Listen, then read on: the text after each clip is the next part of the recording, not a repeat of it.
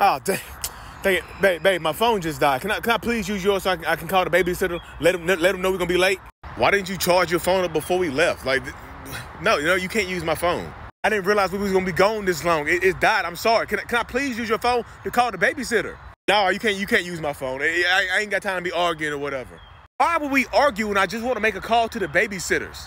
Because I know, I know how you is. I know how, just, just give me the number. I'll call them for you. Why are you making things so difficult? I can just call them real quick and give you your phone back. You can watch me dial the, you can dial the number for me.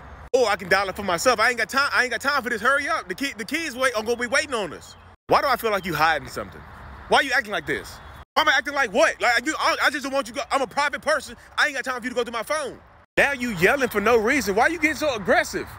I don't even like your tone.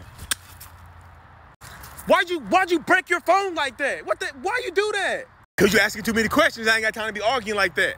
Hold on. One